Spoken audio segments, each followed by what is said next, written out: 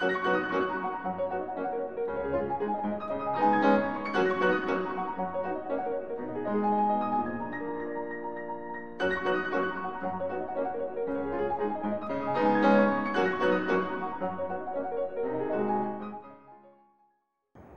back. So, we will take questions specific to this particular talk. Any other questions related to concepts or lab, wait till after the tea break. So, we will spend the next half an hour taking questions specific to this flipped classroom talk.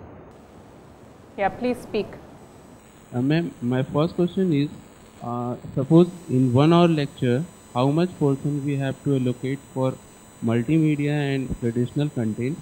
And second one is, what is the frequency of switching between that? We have al- uh, always uh, confused about that, that how can we uh, switch between those contents in a one hour lecture? Okay, I mean, um, I thought the talk covered some of this, but uh, maybe not in too much detail.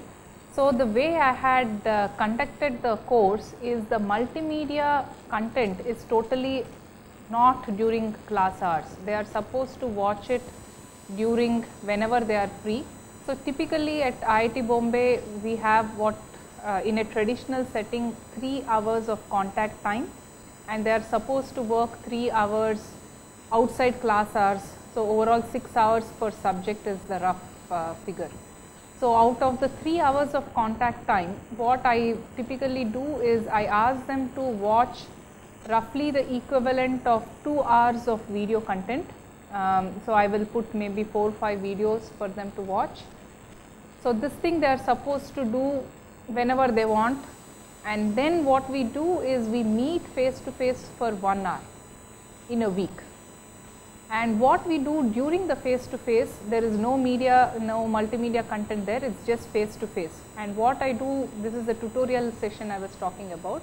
So, during this time you can use it to do multiple things like you could uh, do some practice problems uh, that is kind of uh, not uh, that interesting. Uh, but you could also do this think pair share the talk is going to happen uh, tomorrow. So, if you go through it you will understand what I am talking about. Basically what you do is um, you have covered some concept now you are going to try to apply that concept in some other setting. So, you pose that problem and ask the students to work in groups to come up with solution. So, there is a lot of discussion that happens um, and again depends on you could also demonstrate some interesting lab concept as part of the tutorial. So, tutorial uh, design is again a big task uh, that is something you have to pay a lot of attention to. So, they learn something uh, offline without the face to face and when they come face to face you need to design the curriculum during the face to face such that they are uh, motivated and uh, want to do interesting things. So, it should be something that makes them think or something that makes them solve some problem or something that uh, shows them a demo of something. So, that should be what the face to face tutorial session should be. Ma'am, there is one more question. Uh, as you were talking in your talk that there uh, the teachers from the remote areas of the country uh, from the engineering colleges of the remote areas of the country can collaborate with uh, IIT B or IIT other other IITs.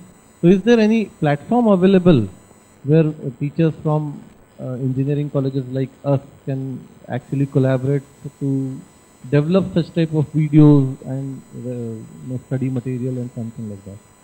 so that we can also implement that flipped classroom structure very effectively in our institutes also. Yeah, so there isn't any, so there is effort towards creating such, uh, uh, I wouldn't say, see Bodhitree is a platform that is used for uh, running the courses in a flipped classroom setting. Um, and there is an effort by I think Professor Phatak was also mentioning Indian government is also very much interested in developing an India specific MOOCs platform which is like Bodhitree or edX or Coursera or whatever it is. So, we want it India specific and there will be a lot of ecosystem around it like once you have such a platform you want to use that platform to populate it with content, populate it with questions, populate with labs So, there is lot of stuff you have to add on to this particular platform. So, there is definitely what is it called uh, uh, push towards creating an India specific MOOCs platform will maybe in another year from now maybe things will uh, be more um, such a platform will come into being and uh, things will become more clear. Now regarding the course content as well as quizzes and other things, so people teachers like you and me across India can potentially contribute uh, within that. Uh, so for that also um, once the platform is there to host, uh, one has to work out what is the method to, so we could conduct again some training workshops uh, that uh, tell how to, so, so, in order to create these kind of videos we use certain tools like uh, I was using a tool called Camtasia. Uh, it is a paid proprietary thing, but uh, we use it and so how to create that kind of content. So, some kind of workshops for it and again as I said quality also is quite important. We do not want there will be lot of content developers. So, one has to pay attention to um, so maybe some peer review kind of a system should also be in place that tells okay this content uh, is pretty good whereas this content could use refinement. Um, so that kind of ecosystem currently is not there, but we are trying, we are interested in it and we are going to work towards it. So MOOCs as I said is a very recent phenomena especially in the Indian context. Um, there are many players, many universities, IITs as well as others who are interested in this space. Uh, right now each one is working a bit independently of each other. So, hopefully uh, they will all converge some point and uh, take it forward. So, that the clarity will only emerge after a few years. It is too early to kind of uh, um, have clarity at this stage. Hello, good morning ma'am. Good morning. This is Sri Priya from uh, Chennai. We were hearing to your uh, flipped classroom discussion. Uh, we do agree uh, with all, all the things we, you discussed, but I am actually a person from EC background. Uh, how to uh, use all these facilities uh, or how to use all these uh, things effectively for a derivative paper? Could you please give some suggestions? What do you mean by derivative paper? You are saying theoretical. Like, yeah, no, more, more of equation oriented papers. You are talking about running a course that has lot of equations in it. Is that what you are asking? Yes, ma'am. Huh. So that would mean someone has to create content based on. So uh, I understand that uh, whatever this course content material that is there um, has been designed for computer science students because we come from a systems perspective. But the same course if it were taught in the electrical department or electronics and communication there is a theory factor. So they spend a lot of time uh, and evaluating for example the MAC protocols through some probability analysis or Markov chain kind of analysis. Um, so the question is if you want to use this platform for that kind of flipped classroom thing, someone has to create a content specific to the electrical electronics. So that is what I was mentioning is uh, it can be computer networks course right now there are let us say 60 concepts. You could add on another 20 concepts that are theoretical um, in nature and if you are running it you just can pull uh, whatever concept you want, create the syllabus and use it. But the content has to be created and that content is best created by someone who is more comfortable with that kind of uh, uh, thing. So, going forward yeah someone will create um, again uh, I had uh, I think I did not explicitly mention it, but if uh, I will put up a Google uh, sheet anyone who is interested in um, adding more content to this computer networks multimedia textbook like saying I want this concept to be covered as part of the textbook. I will go through it. Uh, if I find it uh, something that I can do, I will add that particular concept also. That way we will create a superset. Thank you, ma'am. Huh. Hello. Yes, Good I morning, can hear ma'am. you. Huh, good morning. Listen to your uh, on classroom, this fifth classroom. Uh, I am asking you regarding this auto graders. In the lab session, you are uh, talking about the auto graders. Yes.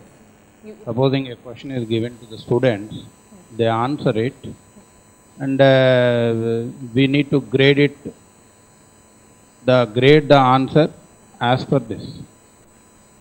Yes. You are talking about auto grader, madam. So let me tell a little bit more about auto grader, then maybe there will be some clarity. So currently the platform has some questions already asked. These are in the form of multiple choice or fill in the blank where if it were a fill in the blank I specify in what format you have to fill in the blank. So these are concept based questions. So that's the platform already handles. Uh, the platform naturally, in fact, uh, not just this platform, any platform will find it very difficult to handle descriptive type of questions. Like if you give a design problem and ask them to design some protocol, uh, I have to grade it manually because uh, there is no tool that will automatically do it. But when I say auto grader in that context, uh, that is more specific to the lab component. So, for example, if it is a data structures lab, there is a lot of coding that you do that is coding of uh, uh, lab exercises uh, like programs. It need not be C, it could be Python, it could be Java, it could be any programming language. So, that has also been finished completion. So, we have in fact integrated it as part of Bodhi tree and it will undergo trial runs in the next semester here at IITB across two courses. Uh, one is a, a postgraduate level software uh, systems lab and another is a computer architecture lab. So, we will see how it goes and then we will open it up for others. So, it is basically going to grade programming type of uh, assignments. So, yeah that is auto grader. Thank you, ma'am. One more question. With regard to the lecture time, you said video uh, lecturing time, you said 9 minutes uh, is quite ideal. Hmm. You said 20 minutes you can go. Sometimes we listen to the lectures hours together. Sure, sure. So, I request you to give uh, the most ideal time as per your research.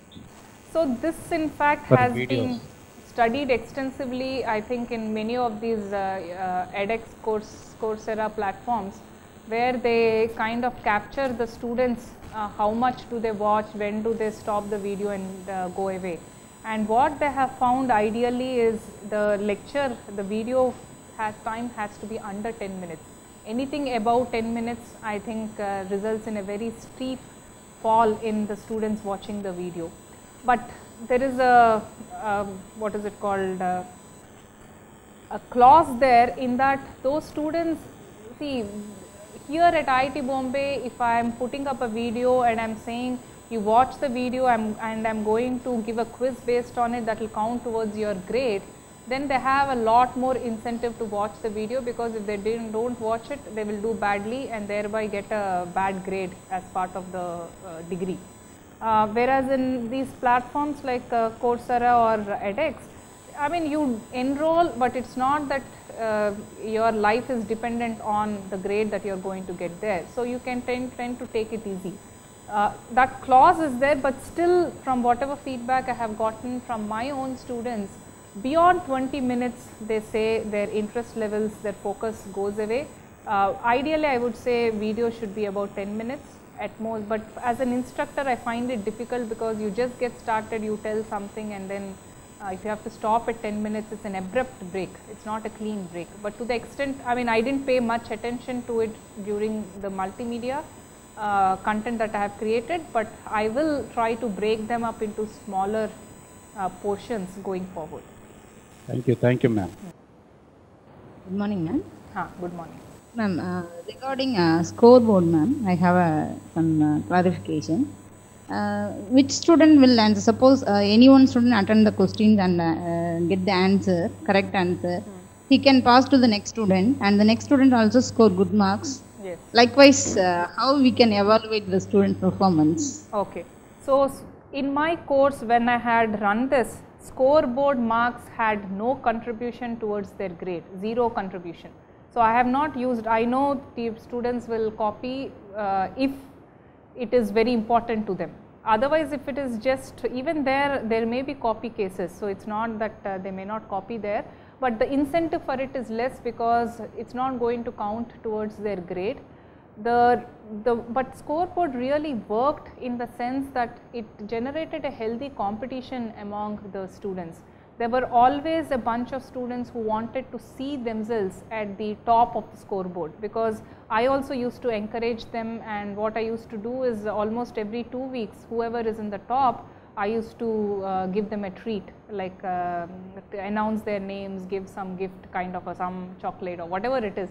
Uh, so, they used to feel a little bit motivated and uh, generally seeing their names in the top it kind of uh, motivates them. But more than that also I think lot of them, so when I normally put up assignments earlier also in a traditional classroom setting, I used to put up assignments, but very few people used to solve the assignments. They will come directly for the midsem or final with uh, minimum practice. But with this Bodhi tree platform, something that I have seen is majority of the students had actually solved the problem. So, because the, the fact that it is all in one place and they get immediate feedback as soon as they solve a problem, they get to know whether their answer is correct or wrong. So, before again in traditional setting, you pose the questions, after one week you pose the solutions. So, that in lack of immediate feedback, they forget what they have done, they have to refresh again. So, it does not really uh, help them that much. So, the fact that you are getting immediate feedback that tells you whether you are right, or wrong, that is also something that they have uh, uh, appreciated. So, again before the exams they revisit all these problems, go through them quickly. So, it kind of helped them in that context as well. So, the role of scoreboard is not, I am not going to use it for grading, uh, it is just to encourage them uh, to work such that it enables a healthy competition among the students. I was noting down uh, some of the uh, my earlier earlier uh, speakers' uh, views on teaching and learning software. So I noted down certain things. Uh, now in our remote center, uh, which is basically a degree engineering college offering BTech and MTech courses in different disciplines, we practice several things like this semester itself. I am going to introduce uh, and NS2 on cloud because you know as people face lots of difficulties in installation of uh, these softwares especially NS2 so I'm going to uh, make them available on the cloud via rich internet application first. And second thing uh, uh, this uh, for basic network concept we need to use some certain commands which we either go for Windows command prompt or Linux terminals so for, for, for example, if students does, uh, a student doesn't have a computer ready in front of him or her, he or she can use uh, his or her smartphone to access the terminal via terminal via a cloud which provides the service of these uh, terminals. And uh, third is uh, coming to Camtasia Studio, I once used the software for making some of my slides which are hosted on YouTube channels. So now I didn't find it quite handy because it takes too much of the memory. So uh, the computer on which I'm working, it makes uh, it is made so sluggish that sometimes I cannot proceed with uh, recording as well as working uh, with uh, uh, software like Android SDK. So it becomes very difficult. So for these things, we are going to introduce a cloud recording system, which will, you know, uh, compress uh, the multimedia information in, in, in, in, a proprietary format and later on convert it to the um, format desired uh, on, a, on a later time. And fourth, regarding the attendance system of students in classroom which allows us one hour of class, uh, it takes a lot a longer time to take the attendance. Uh, so it at least takes 10, 10 minutes to uh, roll call of a student comprising of 100 students. So we uh, uh, practice a thing where each of the students are asked to uh, wear a certain, you know, uh, an ID card which will comprise of a QR code and uh, and, and, and, a lab or the classroom is uh, continuously under video surveillance and the, the, video frames extracted to decoy codes and mark the student present. So what do you think? where are we going in the correct direction? Okay, I mean the definitely whatever you have mentioned the first three points about providing an environment for people to log in uh, using their smartphones and so on. I mean that's something there is definitely a need for it. Uh, we are also kind of uh, working towards that direction. So, I definitely feel uh, it's good. Regarding your uh, final point about uh, attendance, I mean something that we do here at uh, IIT Bombay, I mean it's not, it's something that the administration does, is uh, most of the classrooms are fitted with a biometric uh, attendance thing. So, before the student enters, he has to take his fingerprint before he comes in. So, that turns out to be a, I think probably an easier solution than video surveillance with um, what is it called expecting them to wear something. Um, but again with the use of smartphones something that uh, you could potentially do if we are talking about a smart classroom which has Wi-Fi and uh, everyone has a smartphone you can definitely do some um, authentication uh, again within limits because the people could pass on their uh, smartphone to someone else and do something but yeah some attendance system there could also be worked out yeah, Uh, we once had a plan to introduce biometrics, but you know, uh, in uh, self-financed colleges, it's very difficult to get biometric devices always ready. And, uh, and places where power cut is often a, a bigger problem, uh, these biometric devices might not run properly, and and so is the maintenance. So in remote uh, uh, remote places uh, from the metros, it's very difficult to get these uh, devices always up. So keeping that in mind, we introduced this QR code system. But the video And, uh, surveillance had to- also will cause power, I mean if there is a power cut, how will your video surveillance work? It's done by on, only a laptop, the teacher's laptop, which runs on a battery uh, by the webcam. So it, it is very much accurate, and it has been proven to give you 100% accuracy, not less. Okay. And uh, last of all, I had a que- question. So one of my former speaker, he was uh, about uh, the data structures and how students' motivation can be, uh, you know, uh, induced for the subject. Uh, so rightly you said that uh, for the first 10 minutes students uh, motivate themselves to the learning and uh, their focus try to recede as, so, as the time passes. So uh, here I, ha I have uh, one uh, strategy to get them induced by introducing real life problems which uh, directly uh, interfere with data structure. For example, as we talk about Android, we have must have heard of the swipe keyboard of Android, where we scribble a thing, uh, editing of a document or to, to type a text message or whatever. So uh, it's basically an application of data structure.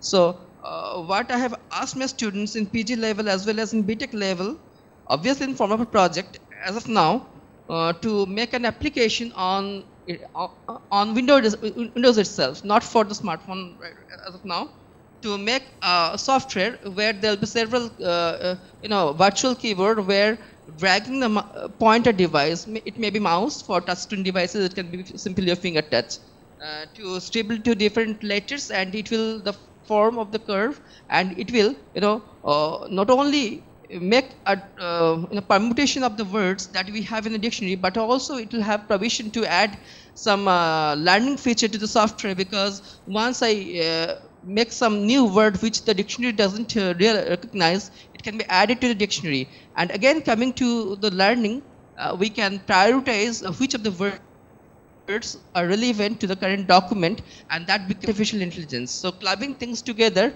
I think uh, this uh, way we can induce students to get more and more motivated to topics like data structure where we where we lock students uh, you know interest. What do you think madam? Yeah, sure. I mean, definitely interspersing activities with videos is a good way forward. Yeah. Uh, my question is that uh, actually we are on a track of OBE guidelines, outcome based education. So that is based on I think Bloom's taxonomy, right? So can you give uh, some techniques or can you discuss some methods which can be applied to average or poor students? Yeah, I mean, uh, so a lot of this flipped classroom uh, is also uh, working towards improving the learning of the students. Um, and uh, Sridhar, who is going to give a talk uh, the next two days, he is going to share with you some of these active learning concepts that also are supposed to work towards uh, students, improving students' understanding of the particular concepts. So, I mean, I would say just wait till both of his talks um, you will get to know some of the techniques that can be employed in a classroom setting to improve the learning of students. Often we ask subjective questions in exam and do the subjective assessment. How it can be incorporated in flip based classroom? Yeah. So one thing I want to make clear is flip based classroom is more for what is it called instead of you going to a classroom and teaching something there is it's more from the learning perspective it's not quite from the evaluation perspective evaluation of a student be it so typically if you want to test whether the student has learned something you do need to ask this kind of subjective descriptive type of questions. You cannot go with multiple choice or fill in the blanks.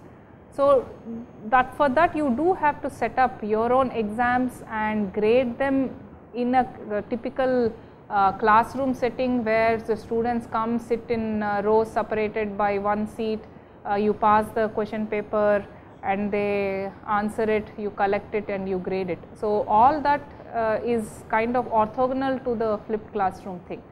That said the flipped classroom can help to the extent possible in practice problems like the kind of practice problems you have already seen on Bodhi tree which are multiple choice uh, or uh, in fact I also provided descriptive questions except that they are not graded uh, you are given the descriptive question, it is on if you really want to learn the subject you should practice yourself and then once you are sure that this is my solution then click on the solution to compare your solution with the uh, solution.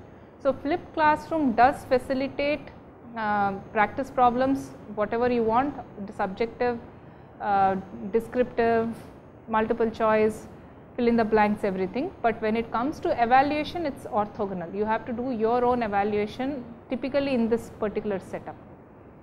Thank you ma'am. Ma'am, Philip, uh, classroom is an innovative idea. It's really helpful for urban area students, but uh, what about the rural area students who have slow internet connections? So, we are again working towards uh, um, an offline mode of uh, flipped classroom. So, this Bodhi tree platform itself, uh, you could potentially if you install something on your uh, machine, um, you could uh, do most of the stuff remotely, but whenever you have internet access or even if it were a low internet access, it will sync between your thing with the server and kind of uh, get your score or other aspects.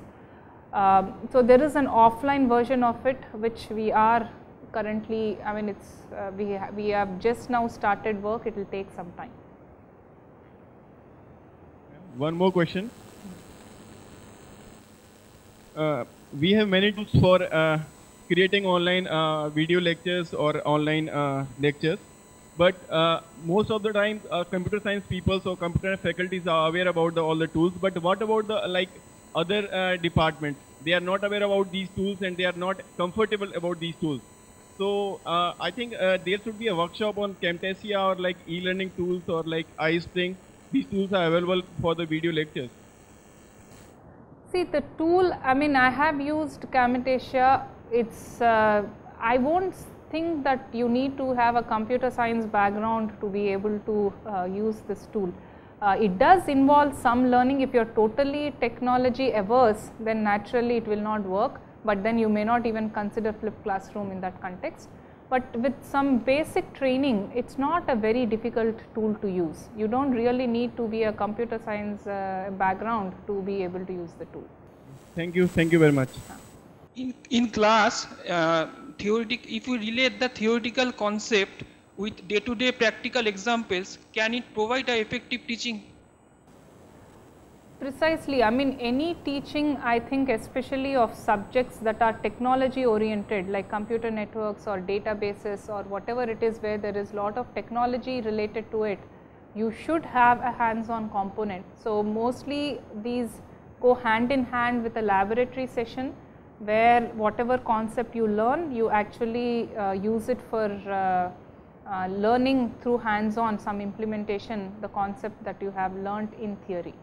So, anything that has a technology component to be of it should be designed such that uh, for best, best learning it should go hand in hand. Thank you, ma'am. technology you're talking about is much better, good motivation and encouragement, but I have tried this practically uh, with a small email test. The students, uh, as the analysis shown by you about IIT is you know, only 9%, 12%, 42% with masses engineering students of lot of uh, university, uh, many engineering colleges. And personally, I have tried it, uh, tried a small email test, but I didn't get much response from students. So what I think is there's no environment around us. Uh, it might be very well when you're talking about IIT's environment, but what about the masses engineering colleges? See, I mean, they, I, I totally understand as well as agree with you that uh, the kind of environment in many of the engineering colleges uh, is not very conducive to uh, learning. In other words, the way they are tested, the question papers themselves, if it's a rote kind of a thing where you just say what, uh, describe the seven layers of the OSI protocol stack, I mean, you're not learning anything, it's just you memorize it and you reproduce it into the paper. So, there are many things that have to change in order to cultivate an environment of learning in the engineering colleges, starting from changing the way the questions are asked, the syllabus itself probably needs revision, adoption of some of these things. And finally, from a student's perspective, it all boils down to a job. So, they want to do the bare minimum possible to get good grades or whatever it is such that they can land a job. So, I mean and it is not something you should say you should do for learning sake, I mean their priorities are different and I think you should uh, respect that as well. So, given that I think what we need is a shift, a big shift in training students for the kind of job oriented skill set where they learn concepts with a hands on component. So, that also motivates no matter how disinterested a student is, you throw him a challenge in the form of okay you know this is this and if you try it out hands on, they do get motivated. We do see that even at IIT there are many students who are not that motivated, but in the labs they like it because they are actually getting to see. So, for example, you use email, if you show them a demo of what is happening behind email, most people do get excited about it. So, you just need to build that environment. Uh, I mean it is not easy, it will take lot of effort in multiple dimensions. Um, people are working towards it. The hope is that in a few years from now, hopefully things will change. Thank you. Uh, good morning, ma'am. I'm Yeah. Nitika Sharma. I would like to ask a question. Many times I come across students who are forced to do engineering rather than by their own choice. So, how should we motivate and encourage them to study?